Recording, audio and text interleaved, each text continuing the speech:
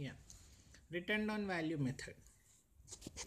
So in this uh, i am assuming the uh, depreciation rate as constant constant depreciation rate. In straight line method depreciation amount remains constant throughout the year whereas in written down value method depreciation percentage or depreciation rate remains constant. So uh, let us assume the depreciation rate as 10% so in the same example my depreciation in the first year will be 10% of 100 10% of value of asset that is 10 rupees. Then remaining balance of the asset will be now 90 in second year my depreciation will be 10% same 10% of not 100 but 90 because value of asset has already been reduced to 90 so it will be 9 now the asset value residual value is 81 90 minus 9 81 now in the third year depreciation will be 10% of 81 8.1 so on. So in written down value method the depreciation percentage rate of depreciation will be assumed as constant and that percentage of value of an asset declined value of an asset will be charged as depreciation. That is why written down value that is that percentage will be applied on not the original value of the asset but depreciated value of asset at each year clear. Disadvantage of written down value method is asset value never becomes zero. That is the depreciation amount continues. Asset value will never become zero. Whereas in straight line method asset value becomes zero at one point of time. Advantage of this written down value method is this method is recognized as per income tax act and companies act. Both the acts have been recognized. This type of method that is for calculating depreciation. Then coming to last sum of years digits method. Here it is only uh, we'll calculate the percentage what we assumed in the 10% that percentage varies. Now how to calculate that rate of depreciation percentages?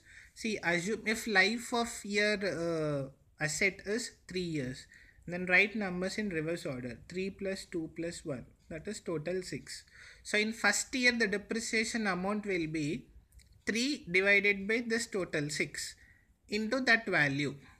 That is 3 divided by 6 is 1 by 2 so half of value of an asset half of 100 so 50 will be the amount of depreciation in first year.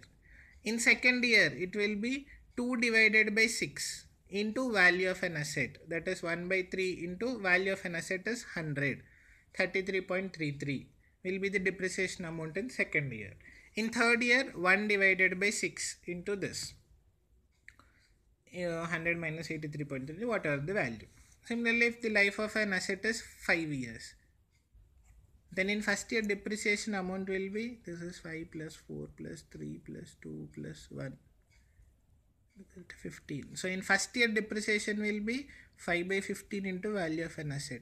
Second year depreciation will be 4 by 15 into value of an asset. So on so in exam what we'll get us? They'll give the method either straight line method or written down value method or uh, sum of years digit method.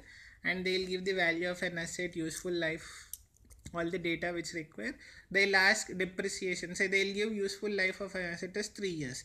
What is the amount of depreciation to be charged in second year? So that way the question will be they'll be asking the amount of depreciation to be charged in a particular year. Clear? Chalo. next topic. The last topic of module a that is forex. That is foreign exchange arithmetic. Now what is forex what is foreign exchange?